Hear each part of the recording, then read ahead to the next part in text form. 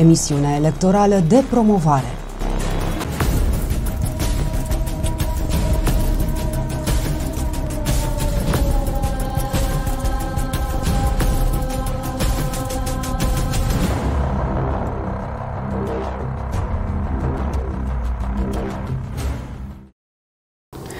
Bună seara, bine v-am regăsit, doamnelor, domnilor, la o nouă ediție a emisiunii Hunedorenii Votează, o emisiune electorală de promovare a candidaților care își doresc să vină în fața dumneavoastră și să-și prezinte oferta electorală, proiectele pe care le au pentru a dezvolta comunitățile pe care își doresc să le reprezinte pentru următorii patru ani, asta în uh, condițiile în care, în data de 9 iunie, zi în care vor avea loc alegerile locale și cele europarlamentare, le veți oferi votul de încredere.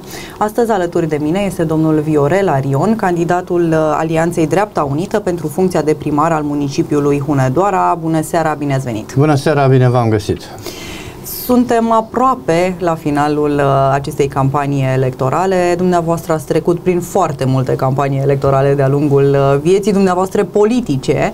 Uh, dacă ar fi să faceți așa o comparație între ce se întâmpla în urmă cu câțiva ani sau în campaniile electorale trecute și ceea ce se întâmplă astăzi în județul Hunedoara, în municipiul Hunedoara respectiv, cam care ar fi termenii de comparație pe care îi aveți, să spunem? E o diferență foarte mare. În primul rând că atunci când am început eu, să zic așa, viața politică, alegerea primarului se făcea în două tururi de scrutini.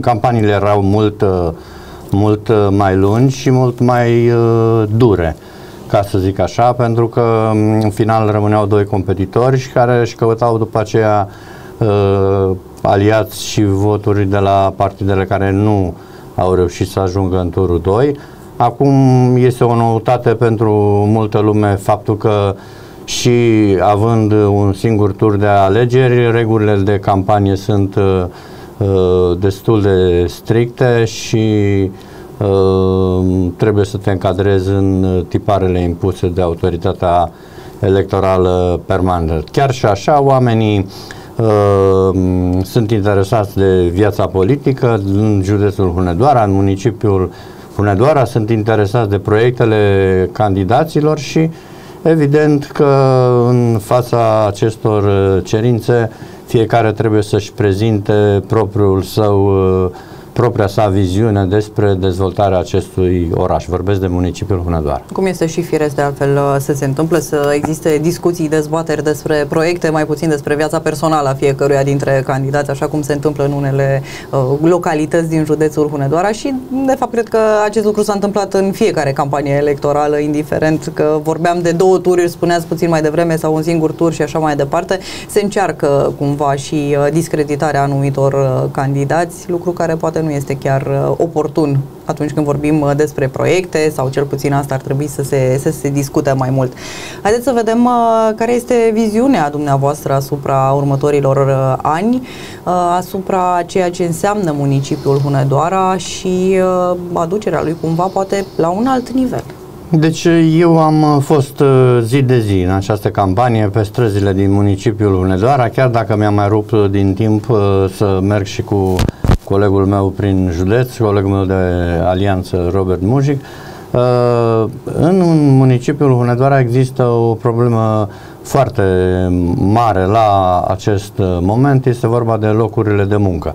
Și nu numai uh, numărul locurilor de muncă, dar și uh, modul cum sunt ele uh, salarizate, pentru că 80% din angajații din sectorul privat din municipiul Hunedoara sunt la nivelul salariului minim. Cum poate Iar, interveni administrația publică păi, locală din acest interveni, punct de vedere? Pentru că majoritatea sunt antreprenori, sunt uh, oameni care au afaceri private, așadar uh, vine cumva întrebarea firească ce ar putea face un primar pentru a interveni la o majorare salarială? Păi, în primul rând, ceea ce am trecut eu în programul meu electoral, uh, crearea de noi locuri de muncă prin crearea de noi locuri de muncă se creează și un sistem concurențial care va, îi va influența prea antreprenori să mărească salariile pentru că fiecare are nevoie de oameni și de oameni bine pregătiți. Cum e foarte ușor să spui aducem investitori. Cum o faci? Eu vorbesc acum și din postura de uh, președinte al Camerei de Comerț pentru că știu cum se face, știu ce așteptări au uh, acești investitori. Și am să vă am să fac o referire la un fost uh, coleg de-al meu care mi-a fost și șef de partid, premier la acea vreme Milboc, care în mandatul de premier a fost, uh, să zic așa, șmecher în ghilimele și a direcționat foarte multe ajutoare de stat către uh, municipiul Cluj. Este și o explicație pentru că motivul pentru care Emil Boc este ales în continuare, deși a făcut uh, parte din același partid care a tăiat uh, din uh, drepturile salariale ale bugetarilor la vremea respectivă. Ei, cum se face? Deci există la nivelul guvernului um, un organism care atribuie ajutoare de stat investitorilor și care se duc uh, către anumite investiții. Vă pot uh, da exemplu, am scos de pe site-ul uh, guvernului unde s-au dus ajutoarele, aceste ajutoare de stat în 2023 și o să vedem că 29,5 miliarde s-au dus pentru platforma multimodală Galați. Uh, și foarte multe sume către porturile din uh, Constanța, din uh, Tulcea, porturile de pe uh, canalul Dunăre Marea Neagră. Uh, oamenii aceștia au primit niște ajutoare de stat și atunci când primești un ajutor de stat îți asumi și niște obligații. Obligația de a crea niște locuri de muncă. M-am uitat și unde se duc banii în acest an, în 2024 și am avut surpriza să văd că uh, o sumă uriașă, 600 de milioane de euro, se duc la Oradea, la un investitor din Oradea. Uh, mi-e greu să înțeleg de ce sau care este gândirea guvernului care alocă o ajutoare de stat unor zone suficient de bine dezvoltate să se descurce singur și nu alocă aceste ajutoare de stat uh, unui municipiu precum Hunedoara. Ce ar trebui să facă primarul și ce poate face primarul? Mai ales că vorbim de municipiul Hunedoara. Există două parcuri industriale acum în municipiul Hunedoara, unul creat de regretatul uh, primar Remus Mari și unul uh, făcut de mine în mandatul 2012-2016, uh, care sunt aproape goale.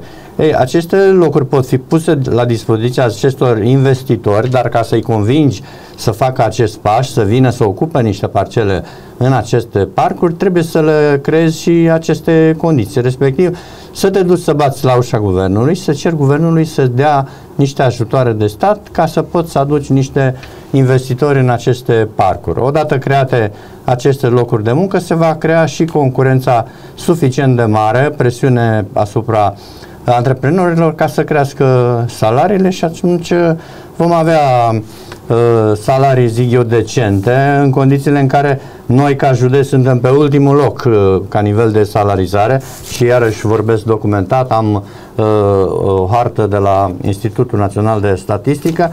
Județul Hunedoara este pe ultimul loc în ceea ce privește nivelul de salarizare și tot pe ultimul loc în ceea ce privește creșterea salarială pe timpul uh, perioadei de inflație care ne-a afectat pe toată lumea.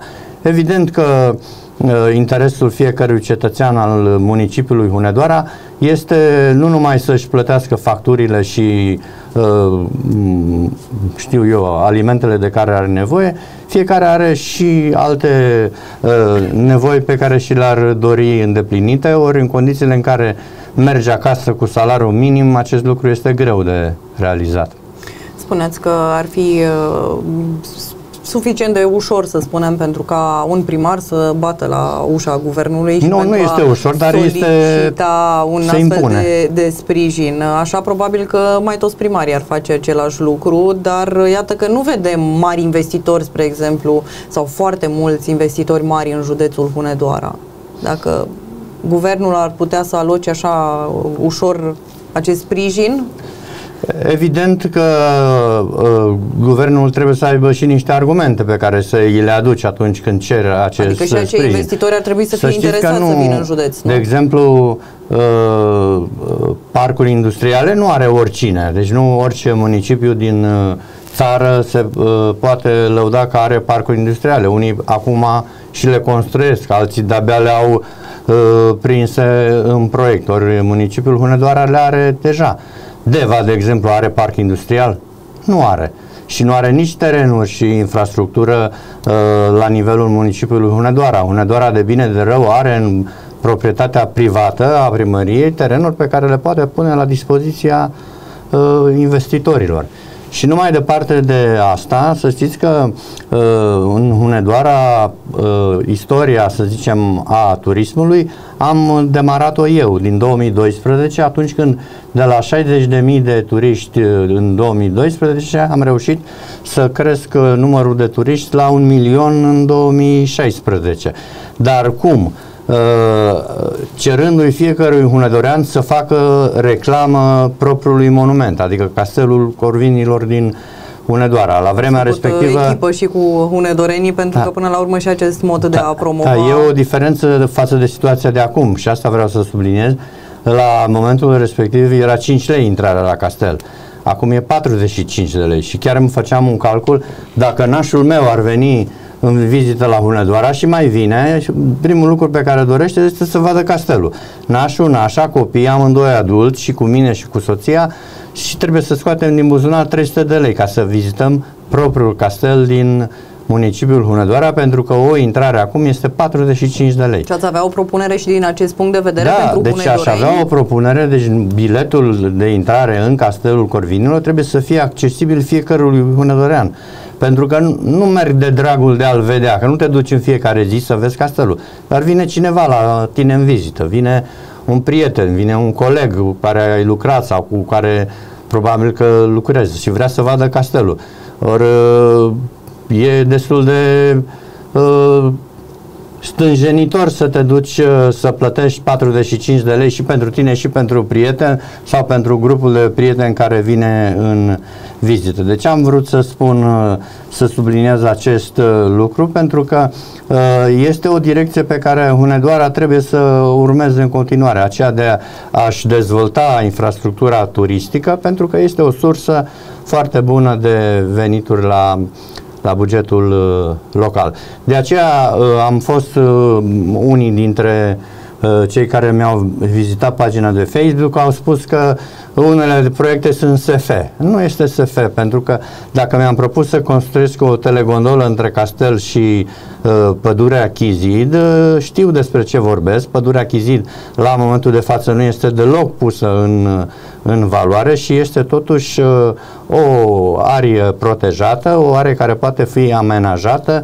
Și cu se spații... poate interveni, având în vedere că este o arie protejată, se pot uh, realiza astfel de Este în parte o arie protejată, deci cam 30 80% din ea este declarată arie protejată, restul este în uh, domeniul privat al municipiului Hunedoara. Se poate interveni, evident, singurele condiții care se impun este să nu provoci dispariția anumitor specii din uh, această, mă refer la copaci, uh, ceva de genul. Tot aici, în acest pliant pe care l-ați adus și care a ajuns cu siguranță în casele multor uh, hunedoreni în această perioadă de campanie electorală, uh, mai aveți aici un punct, transformarea pădurii Chizid în mega parc verde destinat relaxării și sporturilor în aer liber. Deci, pe lângă construirea unei telegondole care să lege uh, monumentul reprezentativ până la urmă al județului Hunedoara, Castelul Corvinilor de pădurea Chizid, vă gândiți uh, că ați putea amenaja aici un uh, parc? Evident că lucrurile trebuie legate și ca să pleci cu telegonola de la castel, în primul rând trebuie să ai unde.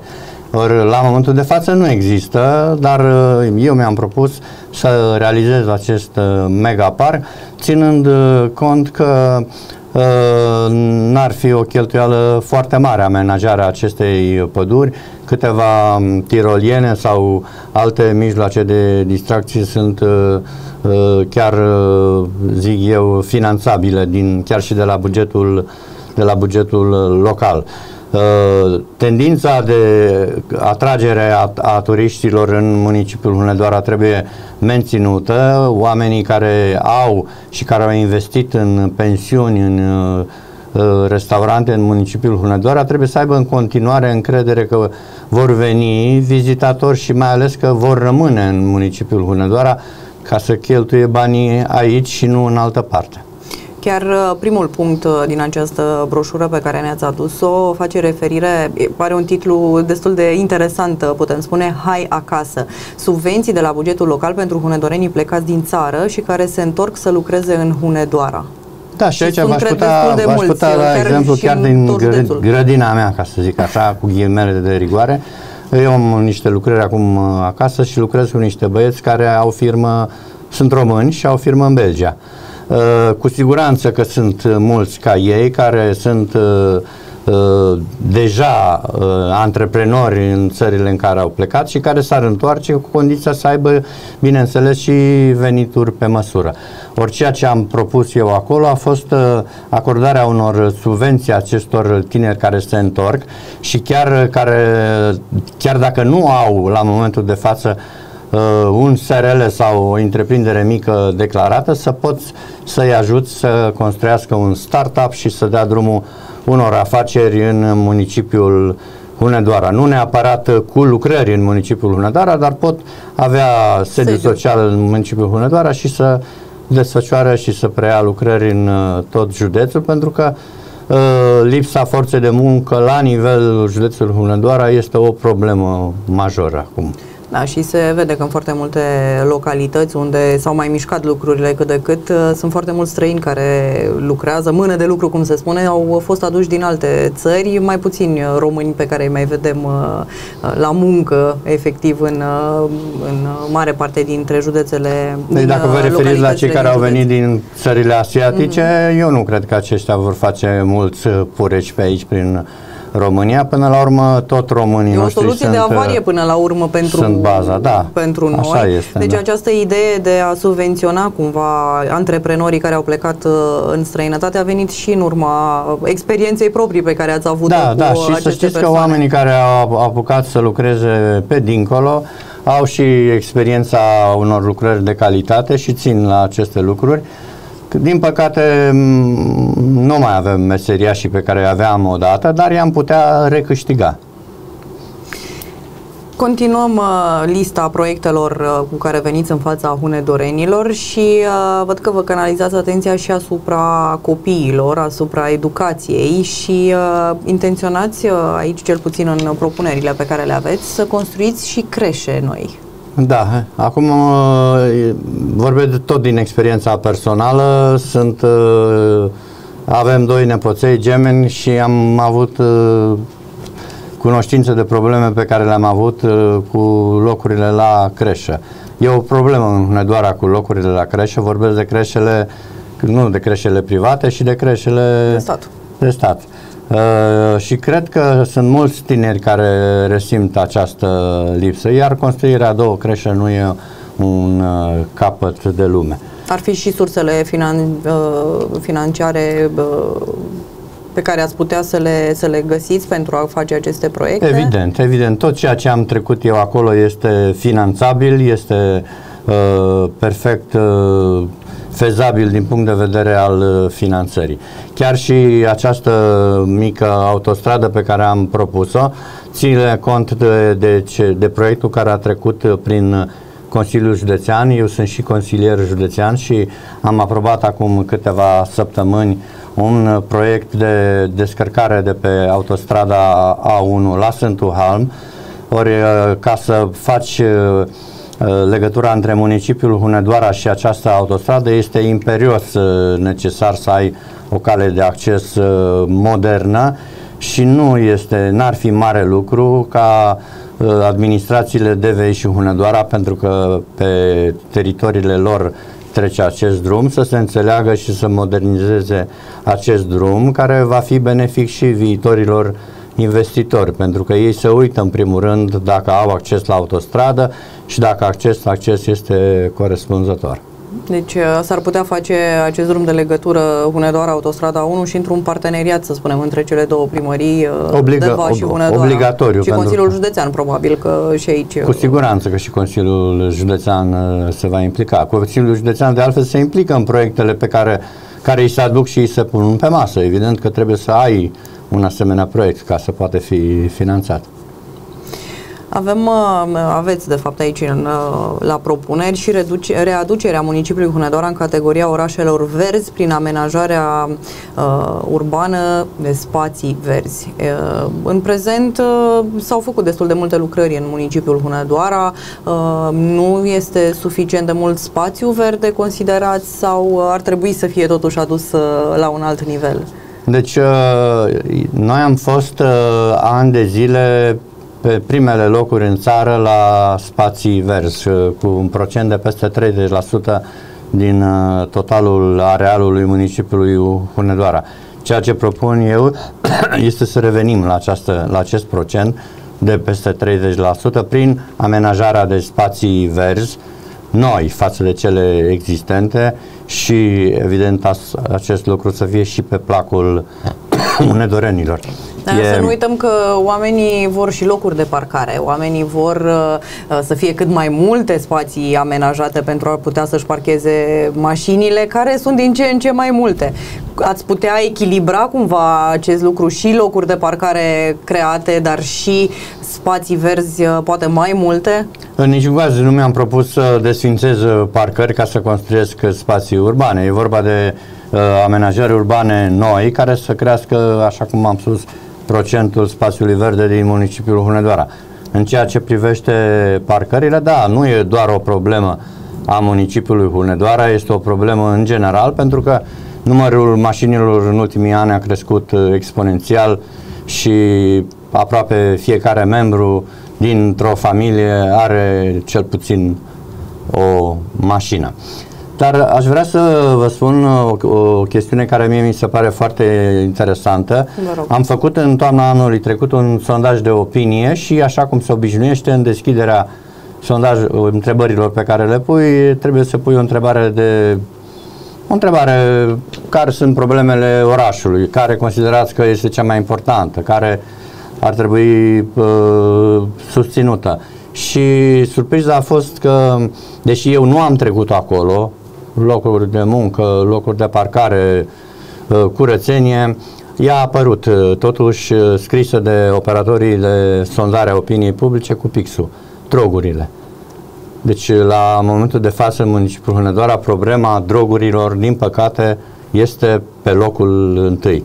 Eu mi-am propus prin acest proiect să eradichez acest fenomen care să fie această măsură și în beneficiul consumatorilor, marea majoritatea lor uh, tineri, Din ce dar ce și în, în, în beneficiul părinților și al celor care sunt deranjați de manifestările celor care au avut neplăcuta surpriză să chiar în timpul campaniei, în timpul zilei, să zic așa, ziua în amiaza mare, să găsim tineri care se drogau, consumau care diferite... consumau droguri, da.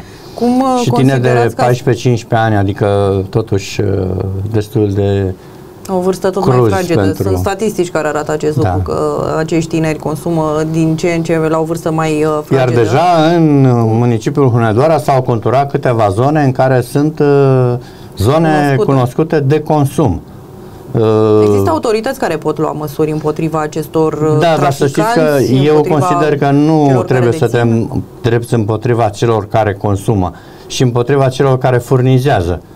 Pentru că dacă tai acest robinet al uh, Uh, furnizării drogurilor rezolv și problema consumului. Într-un... Este o problemă uh, la nivel mondial aceasta a drogurilor. Într-adevăr, aceste droguri nu răsar în școli, nu răsar uh, în scări de bloc și așa mai departe. Ele totuși sunt aduse de undeva, de către cineva, introduse în țară pe anumite căi. Cum considerați că ați putea să eradicați, dumneavoastră ați spus aici 100% eradicarea drogurilor în Hunedoara. Care ar fi planul pe care îl aveți? Pentru că aici, din punctul meu de vedere, cred că este nevoie aș, de o întreaga aș, comunitate da. să se implice până la urmă. Aș capacita și aș canaliza 90% din puterea poliției locale către acest fenomen. Deci uh, știți că există um, o rețetă, să zic așa, de colaborare între poliția uh, locală și poliția care aparține Ministerului uh, de Interne de, se, fa, se făceau și se fac echipe mixte pentru rezolvarea anumitor probleme. Cred că dacă poliția locală și-ar asuma și evident și cu acceptul colegilor de la Ministerul de Interne această problemă, am putea să direcționăm 90% din forța poliției locale către rezolvarea acestor uh, probleme și uh, în primul rând aș păzi școlile. Deci, uh, există pază în mare parte dintre școli, nu? Există firme care se ocupă de nu vorbesc de firme. Firmele acelea probabil că au contract cu școala, nu uh-huh. știu, sunt niște câte unul Considerați care... că nu este suficient doar atât? Deci este câte un uh, paznic, uh-huh. de regulă un pensionar, care nu poate să facă față unui astfel de fenomen. Aici îți trebuie forță, îți trebuie oameni uh, bine pregătiți, bine antrenați și evident și bine dotați, să zic așa. Iar mai apoi aș adăuga eu că ar mai fi nevoie și de centre speciale pentru acești uh, tineri care ajung uh, să fie consumatori, pentru că așa cum spuneați, ei trebuie ajutați, nu trebuie uh, Așa loviți este, și da. mai mult decât uh, sunt din păcate. Cred că la nivel național nu prea avem astfel de centre în adevăratul sens al cuvântului care să se ocupe Da, de e, din păcate este o problemă națională, dar fiecare la rândul nostru ar trebui să ne propunem niște proiecte pe plan local care să, uh, unite, adunate, să ducă la uh, rezolvarea acestui fenomen din ce în ce mai grav, după părerea mea. Și de la tineri uh, trecem așa ușor, ușor și la cei trecuți uh, de prima tinerețe, poate chiar și de a doua, pentru că și uh, persoanele vârstnice trebuie luate în calcul atunci când uh, vine vorba, poate inclusiv despre uh, modul în care este gestionat bugetul, proiectele care vin în uh, sprijinul uh, dumnealor și uh, ați luat în calcul și un astfel de, de proiect pentru pensionari, pentru vârstnicii municipiului uh, Hunedoara. După cum uh, știți, sau dacă nu uh, am să readuc Hunedorenilor aminte, în mandatul meu 2012-2016 am avut un proiect, Casa Pensionarului, pe care l-am realizat. El este un centru uh, multifuncțional pentru pensionari. Pentru uh, acest program cu care vin acum în fața Hunedorenilor, mi-am propus ca uh, să extind uh, aceste programe pentru pensionari și să le dau posibilitatea de a face excursii în uh, județele din apropiere, în, în localitățile din apropiere care să fie subvenționate de la bugetul local. Pentru că există o mare dorință pen, printre pensionari de a vizita și alte orașe și alte uh, monumente, iar ei pot fi și niște foarte buni mesageri ai uh, turismului Hunedoara, pentru că făcând o comparație între uh, greutatea, să zic, a unui monument dintr-un alt oraș și Castelul Corvinilor uh, pot să pună în balanță și să uh, explice eventual și altor posibili uh, vizitatori care este importanța și care este uh, atracția principală a județului Hunedoara, Castelul Corvinilor în speță. În ultimele trei minute vreau să discutăm puțin și despre Corvinul Hunedoara, că nu putem să nu discutăm, pentru că toată lumea discută în această, în această perioadă despre acest fenomen uh, până la urmă. Care ar fi liniile, să spunem, uh, după care v-ați ghida pentru ca această echipă să continue în același trend? Da, am trecut-o și în programul meu. Uh, Corvinul Hunedoara, în primul rând, trebuie să fie, să acceadă în, uh, în Liga 1. Asta este obligatoriu la ce amploare a luat acest uh, fenomen și uh, nu va putea fi susținută financiar doar de la bugetul local. Pentru asta e nevoie de investitori, e nevoie de investiții, iar uh, ceea ce am propus eu aici se leagă, uh, așa cum v-am spus, uh, odată aduși uh, acești investitori, odată create aceste locuri de muncă, echipa Hunedoara poate fi un vector de imagine pentru acești viitori viitor, această, acești viitori investitori. Văd că vă uitați și la lista mea de consilieri Trebuie să local. aducem Trebuie puțin să în vă, discuție și uh, avem echipa aici pe care o da, aveți. cel mai tânăr uh, consilier local, 27 de ani, antreprenor, uh, cea mai tânără medic din municipiul Hunedoara, medic uh, pediatru, e Ioana Moldovan. Uh, Peste 60% din, uh, din propunerile mele pentru Consiliul Local sunt antreprenori. Deci sunt oameni care De ce provin ați din... gândit așa echipa? Pentru că noi suntem formați și gândim ca și formațiune politică. Noi, Alianța Dreapta Unită, sprijinim în primul rând antreprenoriatul, antreprenorii și toți angajaților. Uh, Noi nu suntem de acord cu aceste diferențieri care se fac uh, de către actualul uh, guvern PSD-PNL între bugetari și angajații din sistemul privat și ei au uh, inflație și ei au nevoie de bani, vorbesc de ace- angajații din sectorul privat. Suntem la final de emisiune, așadar o să vă rog să le transmiteți un mesaj uh, locuitorilor municipiului Hunedoara. Da, dragi unădoreni, duminică 9 iunie avem de ales între stânga conservatoare și dreapta unită, dreapta care asigură modernizarea uh, Hunedoarei, progresul ei. Votați Dreapta Unită! Vă mulțumesc tare mult, domnule Arion, că ați fost alături de noi. Mult succes vă doresc! Vă mulțumesc și dumneavoastră, stimați telespectatori, că ați fost alături de noi. Rămâneți în continuare pe Hunedoara 1 TV. Numai bine!